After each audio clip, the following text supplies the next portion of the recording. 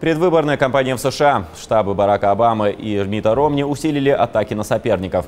После взаимных упреков по поводу реформы системы здравоохранения темой ожесточенных дискуссий стали налоги. Новую волну критики со стороны Обамы вызвало решение кандидата республиканской партии ограничить информацию о своем состоянии только налоговой декларации за 2010 год.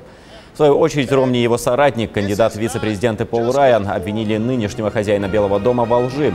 Они опровергли обвинения Обамы в связи с экономической программой республиканцев и снова раскритиковали президента за программу реформы государственного медицинского страхования. Если вы хотите быть кандидатом в президенты США, то ваша жизнь должна быть для ваших избирателей как открытая книга. Особенно, когда дело касается ваших финансов. Вы понимаете, что мы просим не какую-то личную информацию, а выполнение официальной процедуры. Мы просим сделать то, что требуется от любого кандидата в президенты.